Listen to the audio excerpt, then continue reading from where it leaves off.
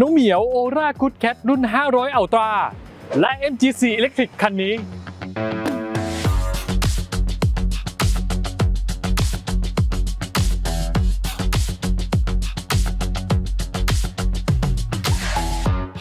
ในยุคที่ราคาน้ำมันแพงและยังไม่มีทีท่าว่าจะถูกลงในเร็ววัน รวมไปถึงมาตรการ support จากทางภาครัฐ เลยทำให้คนสนใจรถไฟฟ้ากันมากขึ้น โดยเฉพาะกลุ่มราคาต่ำล้าน วันนี้ที่สุดเลยจะพาไปชมรถ EV 2 คัน ที่ถือว่าคนให้ความสนใจกันมาก ในคลิปนี้เราจะมาเจาะลึกเปรียบเทียบตัวท็อปของทั้งสองคันให้ทุกคนได้เห็นกันชัดๆ ทั้งภายนอกภายใน option feeling การขับขี่และราคา คลิปนี้จะเกิดขึ้นไม่ได้เลย ถ้าไม่ได้รับการ support จากผู้ชมทุกคน โปรดกดติดตามเป็นกำลังใจให้ทีมงานกันด้วยนะ ขอขอบคุณรถทดลองขับจาก MG เซรินทร EV Authorized Showroom ครบวงจรทั้งเรื่องขายศูนย์บริการและซ่อมสีตัวถังส่วนน้องแมวออร่าคุดเคทคันนี้ของผมเอง แต่เป็นรุ่น 400 Pro บางจุดอาจจะไม่เหมือนตัวท็อป 500 Ultra นะครับ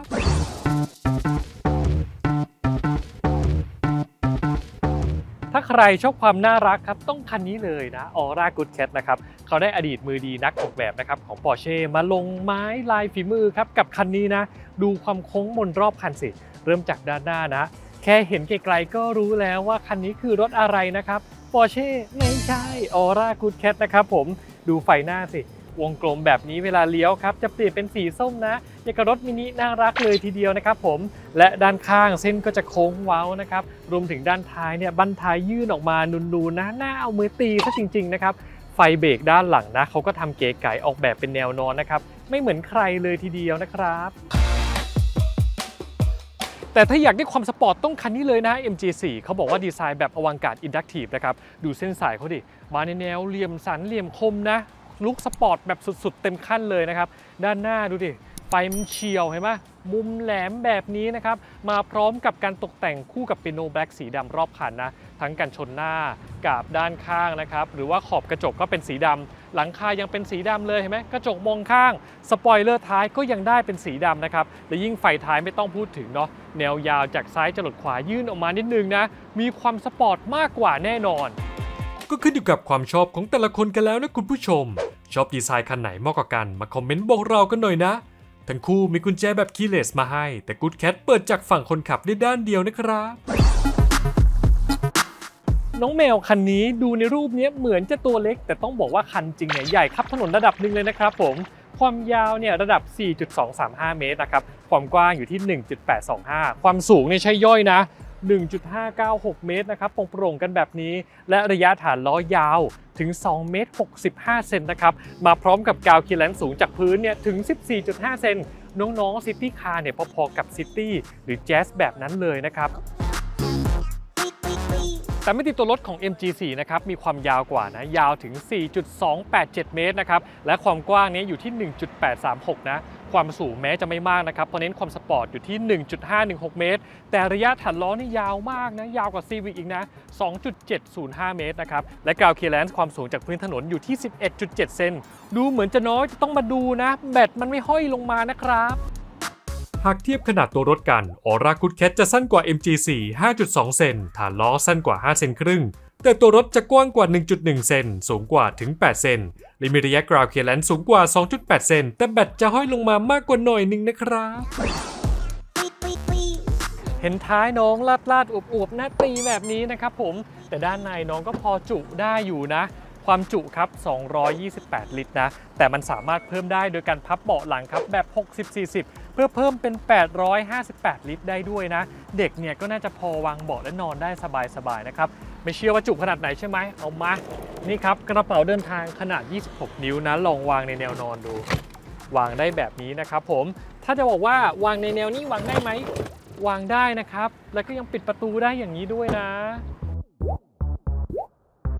ด้านท้าย NG4 จุได้ไม่ใช่ปัญหานะฮะ ความจุเนี่ยอยู่ที่ 317 ลิตรนะ เมื่อเป็นแบบนี้นะครับผม และความจุเมื่อพับเบาะหลังลงแบบ 60-40 เนี่ยจะเพิ่มได้เป็น 1,177 ลิตรนะฮะ ลองมาดูกันนะ ว่าเราระวังกระเป๋าเดินทางขนาดกลางนะครับ 26 นิ้วนะ วางแบบนี้ได้ไหมอ่าปิดไม่ได้นะครับ วางได้แต่ปิดไม่ได้นะ ต้องวางแนวนี้นะครับผม ก็จะวางได้ประมาณใบหน่อยๆ แต่ถ้าถามว่าวางตั้งได้ไหม วางตั้งได้นะครับ แต่ว่ามันจะปิดไม่ลงต้องถอดฝาเก็บตัวนี้ออกนะครับผม และทีเด็ดของเขาอยู่ที่ฟีเจอร์ลับอันนี้นะ ฝาตัวนี้มันสามารถพับเพื่อเพิ่มพื้นที่ได้นะครับเงียบเงียบแบบนี้ได้ด้วย แม้ว่า MG4 จะจุมากกว่า แต่ก็ไม่ได้ใหญ่มาก วางกระเป๋าเดินทางขนาดกลางขึ้นไปได้แค่ใบเดียวเท่านั้น และทั้งสองคันไม่ได้ให้ยางอะไหล่มา แต่ Good Cat จะมีหลุมไว้วางของด้านล่างเพิ่มได้อีกนิดนึง สำหรับคุ้มพลังของเจ้าแมวดีคันนี้นะครับมาพร้อมกับมอเตอร์เดี่ยวนะ วางอยู่ที่ล้อคู่หน้านะครับให้กำลังสูงสุด 143 แรงม้า แรงบิด 210 นิวตันเมตรนะครับผม และรุ่น 500 Ultra เนี้ยจะมาพร้อมกับแบตเตอรี่นะครับลิเธียม ternary NMC นะครับ ความจุ 63.139 กิโลวัตต์อาวนะ แปะอยู่ที่แพลตฟอร์มนะครับ ซึ่งคันนี้ใช้แพลตฟอร์มเลมอนเหมือนคันอื่นๆ ในค่ายของฮาวาวเขาที่เขาใช้ร่วมกันนะ ทั้งรถไฟฟ้า รถสันดาปรถไฮบริดอะไรแบบนั้นนะครับผม อาจจะมีห้อยลงมานิดหน่อยนะ แต่ก็ยังสูงจากพื้นถนนอยู่ดี แต่เขาก็ติดกาดกันกระแทกด้านข้างมาให้นะครับผมส่วนคันนี้เนี่ยเขาบอกความเร็วในการชาร์จนะครับถ้าเป็น DC Fast Charge เนี่ยรองรับสูงสุด 60 กิโลวัตต์ สามารถชาร์จแบตจาก30ถึง 80%ได้ในเวลา 40 นาทีเท่านั้น และถ้าชาร์จไฟบ้านครับ AC เนี่ยรองรับสูงสุด 6.6 กิโลวัตต์นะ ชาร์จแบตจาก 0 ถึง 100%ได้ในเวลา 10 ชั่วโมง คุณนอนตื่นมาแป๊บเดียวก็เต็มแล้วนะครับแต่ถ้าชอบแรงๆ ต้องคันนี้เลยนะครับ MG4 มาพร้อมกับมอเตอร์นะ ที่วางอยู่ขับหลังอย่างกับรถยุโรปนะครับให้ความแรงสูงสุด 170 แรงม้าแรงบิด250 นิวตันเมตรนะ และจับคู่กับแบตเตอรี่ครับ แบบลิเธียม iron phosphate ที่เขาบอกว่าเป็น Rubik Cubes Technology วางเรียงตัวอยู่บนแพลตฟอร์มครับ SAIC Nebula ของเขา มันจะเรียบเนียนกริบแบตไม่ห้อยย้อยลงมานะครับ พร้อมกับความจุแบต 51 กิโลวัตต์อาวเคลมว่าวิ่งได้ไกลสุด 425 กิโลเมตร ตามมาตรฐาน NEDC นะครับผม ส่วนความเร็วในการชาร์จเนี่ย ถ้าเป็น DC Fast Charge เนี่ย รองรับสูงสุดถึง 88 กิโลวัตต์นะ ชาร์จแบตจาก 10 ถึง 80%ได้ภายใน 35 นาทีเท่านั้น แต่ถ้าเป็นไฟบ้าน AC ครับ รองรับความเร็วสูงสุด 6.6 กิโลวัตต์ ชาร์จแบตเต็ม 0 ถึง 100%เนี่ย ภายใน 8 ชั่วโมงครึ่ง หากทดลองขับที่ความเร็ว 100 กิโลเมตรต่อชั่วโมงทั้ง 2 คัน จะกินไฟพอๆกัน ประมาณ 0.15 ถึง 0.16 กิโลวัตต์ต่อกิโลเมตร ตกกิโลเมตรหนึ่งไม่ถึง 1 บาท แต่แพลตฟอร์มใหม่ของ MG4 จะได้เปรียบกว่า ปิดแบตได้มิดชิดไม่ห้อยลงมา และมีโหมด V2L แปลงร่างรถเป็น power bank จ่ายไฟได้ แต่ต้องซื้ออุปกรณ์เพิ่มเติมนะครับ ดีไซน์ด้านในน้องแมวเหมียวเป็นยังไงบ้างฮะ ลองดูนะ แน่นอนเขาเน้นความคูลความชิคครับ ภายในดีไซน์ก็ต้องไม่ธรรมดา วัสดุเห็นไหมเหมือนหนังกับอาคันทาร่าเดินตะเข็บได้จริงนะ เกือบทั้งคอนโซลหน้าแบบนี้ รวมถึงครับแผงข้างที่วางแขนก็ตกแต่งในแนวแบบเดียวกัน วัสดุบนเบาะครับ ก็สลับกับหนังสังเคราะห์นะ ไม่ธรรมดาเลย ช่องแอร์ครับใหญ่ๆโตๆเนี่ยแน่นอนครับเป่าเย็นทั้งห้องโดยสารชัวร์เลยนะครับผมและด้านบนนี่พวกไฟ LED ดง LED เนี่ยก็ให้มาครบนะให้มาเป็นแบบนี้เลย และตำแหน่งปุ่มเกียร์ครับ เป็นแบบหมุนนะ ดูดีเทลเขาไม่ธรรมดาครับ เป็นลายเวเฟอร์ข้าวหลามตัดแบบนี้นะ หมุนซ้ายหมุนขวาแบบนี้ได้หมดเลย อยากหมุนไปไหนหมุนได้หมดนะครับ พร้อมเบรกมือไฟฟ้า แล้วก็ Auto Brake Hold เป็นปุ่มจริง ๆ มาให้นะ ไม่ต้องไปกดจากในจอนะ ตัวเบาะเองนะครับ ก็มาในแนวไม่ได้โอบกระชับมากนัก แต่ก็ให้ความนุ่มสบายในการขับขี่อยู่ เบาะออกแนว firm ๆนะ มันใช้ยาวๆเนี่ยหายห่วงเลยนะครับ ภายใน MG4 ก็ต้องออกแบบมาแนว look สปอร์ต match กับภายนอกตัวรถใช่ไหมล่ะครับด้านหน้าเห็นไหมครับคอนโซลเนี่ยออกในแนวยาวนะครับตกแต่งด้วยสีเทานะ สลับกับ Piano Black อาจจะเลอะง่ายไปหน่อย แต่มันก็ดูหรูใช่ไหมล่ะนะครับผมและดูสีบรรยากาศเขาออปชั่นกระจกหลังตัดแสง auto นะครับรวมถึงคอนโซลหน้ามันยื่นออกมาครับเป็น floating console แบบนี้เกียร์เป็นแบบหมุนดูล้ำสมัยไม่เบาใช่ไหมล่ะ แล้วก็มาพร้อมกับเบรกมือไฟฟ้าอยู่ตรงนี้นะครับผม ส่วนตัวเบาะเองก็จะมาในแนวแบบว่าออกแนวผ้าผ้าสลับกับหนังนะ สีครีมตัดกับผ้ายีน แล้วก็มี trim สีส้มให้ดูสปอร์ตนิดนึง เบาะคนขับปรับด้วยไฟฟ้า 6 ทิศทางนะครับ จอมาตรวัดและจอ infotainment นะครับของคันนี้ออกแบบในแนวสไตล์รถหรูเยอรมันนะ เห็นปุ๊บก็คล้ายๆ รถอะไรฮะ คล้ายๆ รถเบนซ์เลยนะ แบบนี้จอมาตรวัดขนาด 7 นิ้วครับ พร้อมมีเกจวัดแยกต่างหากนะ ระหว่างคันเร่งกับตัวระดับแบตเตอรี่ครับที่เหลืออยู่ในรถเรา และจอกลาง infotainment ครับมีขนาด 10.25 นิ้ว คมชัดสู้แสงได้โอเคเลยนะนะครับ เออนะครับแล้วก็ฝึกให้เราใจเย็นนิดนึงนะเนี่ยมันเลื่อนก็ต้องแบบว่าอาศัยจังหวะรอหน่อยๆนะครับให้เราใจเย็นใจเย็นในการใช้งานรถคันนี้ การ setting ต่างๆ ก็ใช้ได้ รวมถึงมี Apple CarPlay Android Auto มาให้ด้วย แต่มันก็อาจจะหน่วงหน่วงเย็นเย็นๆนิดนึงนะจจอไม่ต่อกันแล้วไงฮะ ขนาดมันก็เท่ากันนะ จอมาตรวัดขนาด 7 นิ้วครับ จอกลางขนาด 10.25 นิ้วเหมือนกัน ที่สำคัญ เอ้ยมันสัมผัสได้ลื่นกว่านะเว้ย และปุ่มเนี่ยมีให้ปุ่มเพิ่มลดเสียงเนี่ยมาด้วยอย่างนี้นะ แม้ว่าจะไม่มีปุ่มปรับแอร์แต่ก็มี shortcut อยู่บนจออย่างนี้นะฮะ ดูความลื่นไหลเนี่ยสังเกตได้นะเออมันไม่น่าใช่ปัญหาเลยนะในการขับรวมถึง Apple CarPlay ครับ ต่อได้เนี้ยแบบไม่ดวงด้วยนะ รอบนี้ MG4 ทำกันบ้านมาได้ดี หน้าจอไหลลื่นเมนูใช้งานง่าย Apple CarPlay Android Auto ไม่มีกระตุก แต่บางทีเสียบสายกับมือถือแล้วเออเออต่อไม่ได้ก็มีบ้างลำโพง 6 ตำแหน่งเสียงแหลมเด่นเซราวดีแต่เบ็ดบวมๆ ส่วนน้อง Good Cat ไม่ดีตรงจอสว่างคมชัดสู้แสง แต่แอบสะท้อนเวลาเปิดพาโนรามิก และบูตตอนสตาร์ทรถประมาณ 5 วิ ส่วน CarPlay ยังหน่วงเหมือนเดิม อย่าเผลอใช้กดนำทางแผนที่กันละลำโพง 6 ตำแหน่งเท่ากัน เสียงเน้นความดังและเบสเป็นหลัก ส่วนแอปไม่ดูสถานะและควบคุมรถผ่านมือถือมีให้ทั้งคู่นะครับ เห็นน้องน่ารักแบบนี้ แต่ความอเนกประสงค์ก็ไม่ธรรมดานะครับ ช่องเก็บของด้านในก็เก็บของได้ประมาณนึงนะ รวมถึงครับที่วางแก้วเนี้ยให้มา 2 ใบอยู่ตรงนี้นะ หยิบออกก็ง่าย ไม่ติดคอนโซลเหมือนรถบางคันนะ รวมถึงครับแผงข้างประตูก็วางน้ำขวดใหญ่ก็ได้ด้วยซ้ำไป ด้านหลังเนี่ยที่วางแขนตรงกลางวางได้อีก 2 แก้ว รวมถึงแผงประตูด้านข้างนะ และที่เก็บของเก็บเอกสารด้านหลังเบาะก็ให้มา รวมถึงช่องชาร์จ USB ครับด้านหน้ามี Type A 2 ช่อง Power Outlet 1 ช่อง Wireless Charger วางตรงนี้ไม่ต้องกลัวมือถือหล่น รวมถึงด้านหลังก็มี USB Type A เพิ่มให้อีก 1 ช่อง สำหรับความในประสงค์ของคันนี้ก็ใช้ได้อยู่นะ Wireless Charger ก็ให้มาตรงนี้นะครับ ที่วางแก้วก็มี 2 ที่ด้านหน้าตรงกลางนะ แล้วก็ตรงแผงประตูวางได้ 2 ขวดนะครับ ด้านหลังไม่มีไม่เป็นไรมาขอวางข้างหน้าได้นะครับ รวมถึงที่ชาร์จข้างหน้านี้มี USB ทั้ง Type A และ Type C ให้มา 2 แบบเลยนะ รวมถึง Power Outlet 12 โวลต์ก็ให้มา ส่วนตรงกลางข้างหลังครับ มี USB Type A ให้มาอีก 1 ช่อง รวมถึงที่เก็บของกระจุกกระจิกเอกสารที่วางมือถือนะครับ ท้ายเบาะก็ให้มาทั้ง 2 ฝั่งเลยนะ ความอเนกประสงค์ Good Cat ได้เปรียบเรื่องที่วางแก้วโซนเบาะนั่งด้านหลัง ส่วน MG4 ดีตรงที่มีช่องวางมือถือหลังเบาะหน้ามาให้ ส่วนจุดอื่นๆเหมือนกันเป๊ะ ทั้งจุดยึด car seat ISOFIX เสียดายที่ทั้งสองคันไม่มี camp mode ไว้ปิด Daytime Running Light เวลาเปิดแอร์นอนดูดาวริมสันเขื่อนกันนะจ๊ะ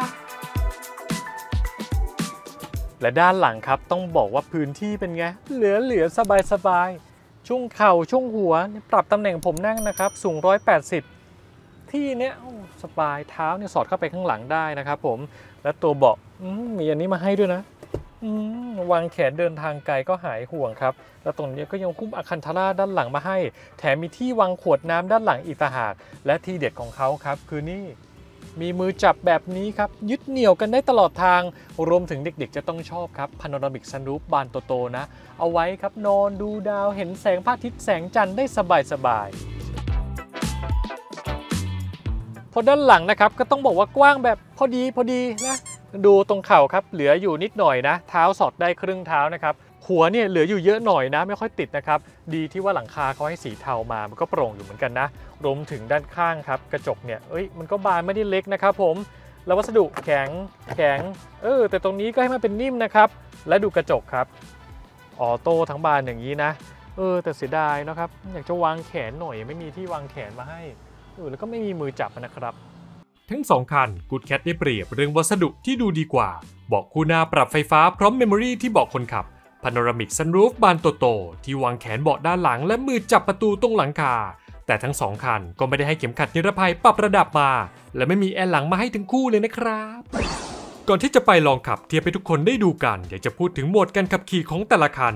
Good Cat มีให้เลือกทั้งหมด 5 โหมด กดเลือกได้จากปุ่มด้านขวาคนขับ ทั้ง normal sport eco auto และโหมดลับ eco plus ที่ต้องกดเลือกจากจอกลาง เอองงจริง ๆ ส่วน MG4 ต้องกดเลือกจากจอกลางทั้งหมด 5 โหมด ได้แก่โหมดหิมะประหยัดปกติสปอร์ตและโหมดกำหนดเอง เจ๋งตรงที่ปรับตั้งได้ทั้งกำลังเครื่องยนต์น้ำหนักพวงมาลัยและความไวเป็นเบรก Good Cat ทำไม่ได้นะจะบอกให้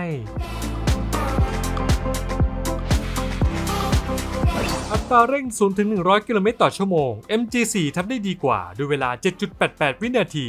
เสียดายที่ Good Cat ดันออกตัวล้อฟรี แต่ช่วง 80-120เจ้าแมวเหมียวกับเชน MG4 ไปได้ด้วยเวลา 6.4 วินาที Good Cat ทำท็อปสปีดได้ที่ 155 ส่วน MG4 ทำได้ถึง 172 กิโลเมตรต่อชั่วโมง ทั้งสองคันถือว่าอัตราเร่งแรงไม่เบา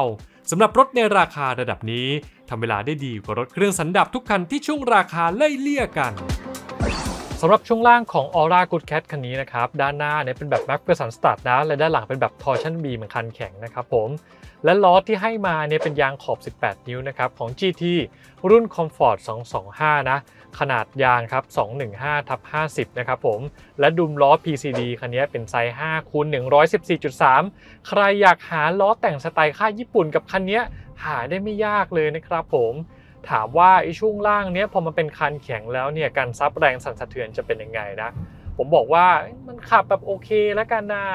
เรียกว่าถ้าขับในเมืองครับความเร็วไม่สูงมากและถนนเรียบนะ ตัวรถเนี่ยให้บุคลิกแบบสบายหายห่วง นิ่มนวลชวนฝันด้วยกันทั้งคันรถเลย แต่ถ้าไปเจอบนถนนครับที่มันกรุขระเมื่อไหร่นะคันเนี้ยจะเปลี่ยนเป็นอีกหนึ่งบุคลิกครับตัวรถมันจะมีอาการเด้งเด้งเด้งเด้งเด้งนิดนึงนะฮะ โดยเฉพาะช่วงสุดท้ายก่อนที่มันจะกลับคืนสู่สภาพตัวรถเป็นปกติ อาจจะเป็นเพราะว่าเนื้อยางมันแข็งก็เป็นได้นะ แต่ถ้าถามว่าเข้าโค้งอาการโยนอาการย้วยมีไหม ต้องบอกว่ารถบ้านสไตล์แบบนี้ถือว่าเกาะถนนทำได้ดีมากๆแล้วนะ แต่แน่นอนมันคงไม่เท่ารถสปอร์ตอะไรขนาดนั้นนะครับ แต่ MG4 คันนี้ขอโทษทีครับ ช่วงล่างเนี่ยได้เป็นอิสระทั้ง 4 ล้อนะ ด้านหน้าเป็น McPherson Strut ส่วนช่วงล่างด้านหลังครับ เป็นแบบ 5 Link ไม่ธรรมดาจริง ๆ นะครับ ดูยางสิคันนี้ยังให้เป็นยางอินเตอร์นะ Continental Premium Contact C ขนาด 215ทับ50 ขอบ 17 นะครับ และซุ้มล้อ PCD เนี่ยยังมีขนาด5คูณ112 เรียกได้ว่าเปลี่ยนแม็กใช้แบบล้อยุโรปได้สบายๆถามว่าฟีลลิ่งขับจริงเนี่ยเป็นยังไงต้องบอกว่านุ่มหนึบมาก นะครับอาจจะไม่ได้แข็งกระด้างมากขนาดนั้นนะ เรียกว่าความสบายในการขับขี่ก็ใช้ได้ ในความเร็วสูงขับมั่นใจก็ดี เนี่ยแหละสมครับที่เป็นช่วงล่างอิสระอย่างที่ MG เขาเคลมไว้จริง ๆเห็นได้ชัดว่าช่วงล่าง MG4 รองรับการขับแบบดูดันไม่เกรงใจใครได้มากกว่า ทั้งการมุดเข้าโค้งซับแรงสั่นสะเทือนทุกสภาพถนน แต่ถ้าขับบนถนนราดยางเรียบๆแล้วล่ะก็ อาจจะจับความแตกต่างได้ยากหน่อย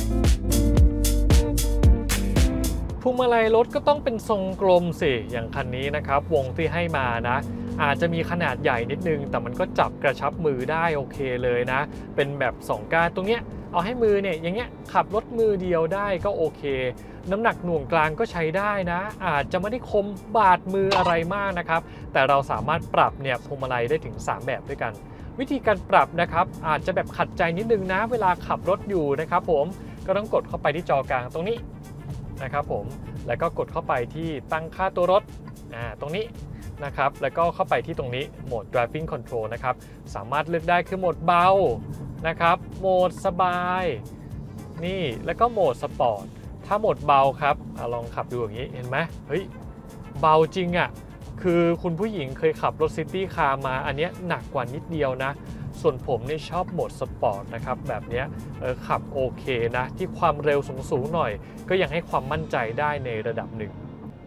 ดีไซน์พวงมาลัยต้องยกให้ MG4 คันนี้นะฮะ ไม่ธรรมดาดูสิพวงมาลัยนะฮะหกเหลี่ยมและดูเวลาเข้าโค้งอืมแบบนี้นะฮะ การคืนพวงมาลัยอืมทำได้ smooth สมกับการออกแบบเพื่อเอาใจคนขับรถจริง ๆ คันนี้ นอกจากนี้น้ำหนักพวงมาลัยยังตั้งได้3โหมดเหมือนกันนะ ต่ำปกติสูง ถ้าต่ำก็จะขับในเมืองสบาย แต่อาจจะไม่ได้เบามากเหมือน city car ส่วนโหมดสูงเนี่ยขับในความเร็วสูงเรียกว่าสบายมั่นใจได้ top speed 170 ก็ยังชิวๆ ต้องขอบคุณระบบ Dual Pinion คันนี้ที่ให้มาในรถราคาระดับนี้นะครับ ไม่เชื่อลองดูสิ น้ำหนักหน่วงกลางเนี่ยเขาคมจริงๆ เนี่ย ขับทางไกลนี่สบายมากๆเลยนะพวงมาลัยของทั้งสองคันถือว่าเซ็ตมาได้ดี และสามารถปรับน้ำหนักได้ทั้งคู่ แต่ MG4 จะให้ฟีลลิ่งกันบังคับควบคุมที่ดั่งใจแม่นยำคมกริบมากกว่าและปรับได้ 4 ทิศทาง ส่วน Good Cat ปรับพวงมาลัยได้แค่ 2 ทิศทางขึ้นลง ปรับใกล้ไกลไม่ได้นะครับคันนี้ครับ Aura Good Cat นะ มีโหมดเบรกที่เรียกว่า One Pedal มาให้ด้วย แต่เราอาจจะต้องเซตทุกครั้งนะครับที่เราขึ้นรถ วิธีการเซตก็คล้ายๆกับพวงมาลัยแหละ กดเข้าไปไม่ยากตรงนี้นะครับ เอื้อมหน่อยนึงนะ อย่าเพิ่งบ่นกันนะ กดเข้าตรงนี้ครับ นี่ยครับเข้ามาแล้วเราก็เลื่อนลงไปข้างล่างหน่อยหนึ่งนะ ตรงนี้ One Pedal ตรงนี้เราเปิดอยู่นะครับผมการใช้โหมดนี้ก็ดีอย่างหนึ่งตรงที่ว่าคันเร่งเนี้ยมันทำหน้าที่เนี้ยเบรกให้เราโดยอัตโนมัติถ้าเราถอนคันเร่งออกนะครับผมอย่างเนี้ยผมขับไปใช่ป่ะพอเราถอนคันเร่งออกนิดนึงตัวรถก็จะชะลอความเร็วให้เราได้จนถึงจุดหยุดนิ่งเลยทีเดียว แต่ต้องกะระยะน้ำหนักเท้ากับระยะห่างกับรถคันหน้าดีๆนะครับไม่อย่างนั้นเนี่ยตัวรถอาจจะชนได้นะครับแต่ข้อดีคือเวลาขับรถติดเนี้ยไม่ค่อยเมื่อยเท่าไหร่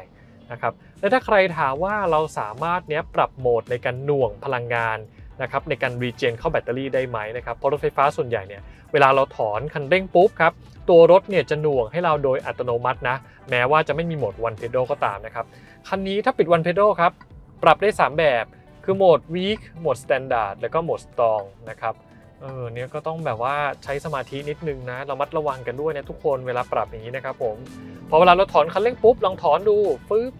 ตัวรถก็จะหน่วงความเร็วลงหน่อยหนึ่งมันอาจจะแบบมีระยะแบบประมาณสัก1-2ถึงวิ แล้วมันค่อยหน่วงความเร็วนะครับ ถ้าใครไม่ชอบรู้สึกว่าเวียนหัวเกินไปก็เลือกแบบวีก็ได้นะ แต่ว่าถ้ายิ่งเราเนี่ยเลือกระดับการปั่นพลังงานเยอะ หรือใช้วันเพด a มากเท่าไหร่นะครับการกินไฟก็จะน้อยลงมากเท่านั้น เพราะว่าตัวรถก็จะปั่นไฟกลับไปในแบตเตอรี่เราเยอะมากขึ้นนั่นเองสำหรับแป้นเบรกเขาก็ยังให้มาอยู่นะครับไม่ใช่ว่าเราชะลอความเร็วจากการวีเจนหรือวันเพด a เพียงอย่างเดียวนะ แต่แป้นเบรกคันนี้มันอาจจะแบบยื่นออกมาจากคันเร่งนิดนึงนะทำให้เราต้องปรับระดับเท้าเวลาใช้งานกันสักหน่อย แต่ว่าน้ำหนักการเบรกก็ถือว่าใช้ได้ ไม่ต้องปรับตัวจากรถเครื่องสันดาปแบบปกติเยอะ และคันนี้เขาให้ดิสเบรกทั้ง 4 ล้อมาด้วยนะ ไม่มีวันเพด a ก็อาจจะไม่ใช่ปัญหานะฮะ เพราะว่าระบบรีเจนของคันนี้ให้มาถึง 4 โหมดด้วยกัน เลือกปรับตั้งได้นะ ทั้งแบบต่ำปานกลางสูง และแบบประเมินหรือแบบ Adaptive ซึ่งโหมดนี้แหละเรียกว่าเจ๋งมาก ถ้าอยู่ใกล้คันหน้านะฮะ จะรีเจนให้เยอะเบรกน่วงได้ดี ปั่นไฟกลับเข้าแบตเตอรี่ได้เยอะ แต่ถ้าคันหน้าโล่งๆนะครับเวลาปล่อยคันเร่ง มันก็จะสบายๆค่อยๆหน่วงน่าจะได้ไม่ทิ่มแล้วบอกว่าคันนี้เวลาปล่อยคันเร่งนะเอาลองปล่อยดู 1 2 3 ปล่อย มันค่อยๆ regen แบบ smooth มาก หน้าไม่ทิ่มเหมือนอีกคันนึงนะ และถ้าถามว่าน้ำหนักแป้นเบรกปกติ ถ้าไม่ใช่โหมด regen เป็นยังไง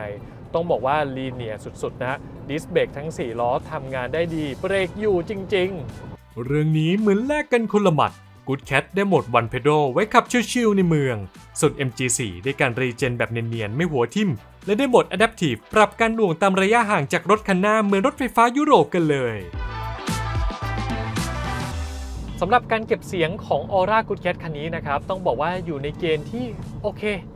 นะครับอาจจะไม่ได้ดีมากหรือไม่ได้แย่นะครับผมต้องบอกว่าที่ความเร็วประมาณ 60 70 80 ตัวรถก็ยังเก็บเสียงได้โอเคนะ อาจจะมีเสียงจากข้างนอกเนี้ยเล็ดรอดเข้ามาโดยเฉพาะเสียงลมเนี่ยที่ความเร็วตั้งแต่ 80 กิโลเมตรต่อชั่วโมงเห็นได้ชัดเลยนะครับแต่ที่ความเร็ว 110 120 เนี่ยเสียงลมก็จะค่อนข้างดัง แน่นอนกระจกมันบานโตบานใหญ่ตั้งขนาดนี้นะ แต่ถามว่าเสียงจากซันรูฟเข้ามาเยอะไหมไม่เยอะนะ เงียบกว่าที่คิดนะครับ ส่วนใหญ่ก็จะเป็นเสียงจากตรงกระจกตรงนี้นี่แหละ แม้ว่าที่ซุ้มล้อคันนี้อาจจะไม่ได้มีการเก็บงานแบบบุกำมะหยี่หรือว่าบุซุ้มล้อพลาสติกสีดำมาให้เต็มซุ้มนะครับ แต่ก็ต้องบอกว่าเสียงจากพื้นถนนเนี่ยขึ้นมาไม่ได้ดังมากเท่าไหร่นะ อาจจะมีจากเสียงยาง GT เนี่ยเข้ามาในรถอยู่นิดนึงแค่นั้นเอง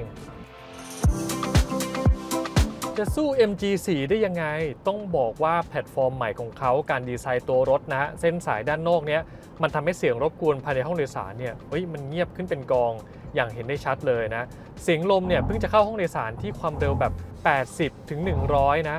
เพิ่งเข้ามานิดเดียว ถ้าความเร็ว 110 เนี่ย 120 เสียงถึงจะเริ่มดังนะ โดยเข้ามาตามแนวแบบขอบกระจกตรงนี้เป็นเสียงลมเข้ามาก่อน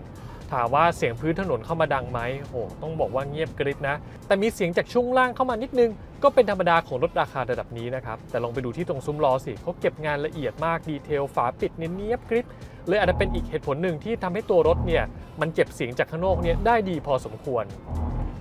อันนี้ต้องยอมให้ MG4 อีกแล้ว เก็บเสียงลมช่วงครึ่งคันบนได้ดีกว่าเห็นเห็นๆขับ 120 เสียงดังเท่าตอนขับ Good Cat ประมาณ 90 เลยนะ